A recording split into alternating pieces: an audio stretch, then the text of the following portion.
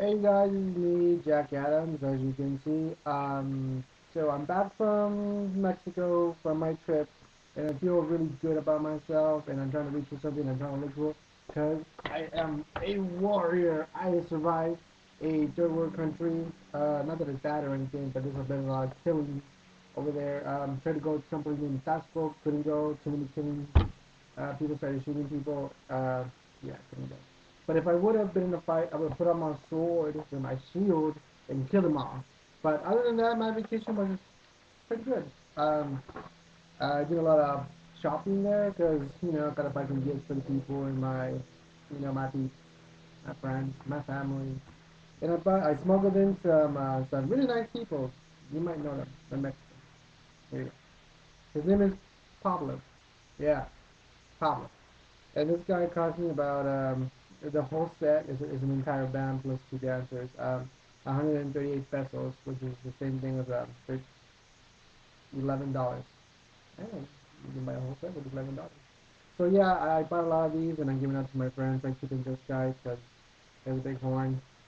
Mm. Compensating? I know. Anyway, so during my travels, I also bought this for my camera because I'm actually recording from my computer. Yes, I do have a computer now. I bought it off my brother because I sold my computer to him, but now it's a laptop. But now I have it back. I bought this over there. It uh, stands for my camera. If you ever wondered what I recorded in, this is what I recorded. It's a Sony. I bought this stand. Now I don't have to put stuff on top of stuff in order, in order to, excuse me, in order to record stuff. So, see that? Ah, Uh, so this one cost me 130 pesos. Again, $11. You can buy a lot of stuff with $11 over there. Uh, I also have my bag that I usually carry over there. It's called a morral. People wear this a lot. But enough about that. Let's talk about what I bought when I came back from the U.S. I went I went to uh, this place called uh, downtown Fullerton. It's called um, it's a Paul Frank store, and let me show you what I bought. Alright. What I like about this place is they put everything in, the, in this little bag when you buy it. So I think that's kind of little. I think that's special. I, I think I think it's special. And let's see what's in it.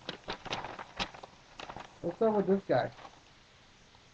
Yeah, I'm a little cuddly. I can cuddle, ladies. Uh, so I bought this guy. It's uh, the Little Uglies Ice Bath. Cost me eleven dollars. Um, just bought it because I feel like buying it. It looks pretty cool. Just dropping bag. So like, you know, maybe some girls is up. What's that? Oh, that's my little buddy.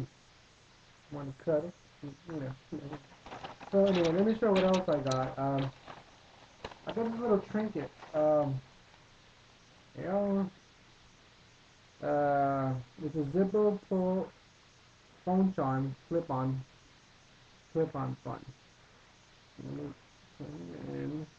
It's from the Frenzies or Frenzies. I don't know. I, I have really have no idea how much they're charging for this. Probably like ten dollars just for this little small thing. Um.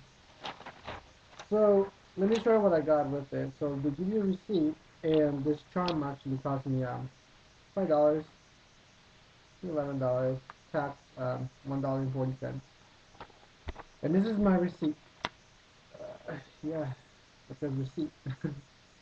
So the whole total was uh, seventeen dollars they give you this, and they also gave me a coupon for twenty percent off on an Excel, and you can see the date there. So the date is um, I'm reading. Oh, I'm professional. Uh, July 31st to August 1st. So 20% anything off stock, which I'm gonna buy. I don't know, maybe a cloth or something. So that's my whole experience of it. So today we're gonna have an unboxing. So yeah. So, ooh, ooh, yeah, got. Oh, wow. You know it's important when it's in glass. Let's see what's in it. I'm strong. Great, I paid five bucks for a soccer with dynamite fitting because the World Cup ended and uh, who won? Oh yeah, Spain or or as uh, Hispanics like to say, España Really, really tough game. Uh, freaking um, Netherlands, was it? Holanda? I don't know how it's called. I saw it in Mexico. Uh, so yeah, if they would have won, the other team, Holanda or the Netherlands, whatever you want to call them, they would have won. They would have gone undefeated because every game that they played was um, they won, except for this one. And then Spain was doing really good. And then let's not talk about Uruguay and their freaking hand that they were like, no, don't make the goal. And they put their hand. Yeah. You know what? Who do you think they are? Maradona. If you if you're a soccer fan, you know what I'm talking about. So anyway, you guys, we're talking about my soccer thing. I'm gonna put it into my thing, so it won't look it won't look like it will look like yo soccer. I get it. Plus the Olympics are coming. Well, anyway, you guys, thank you for watching, and that's what I bought. And hit me up on Twitter, MySpace, or Facebook. Yeah, I'm a loser. Yay!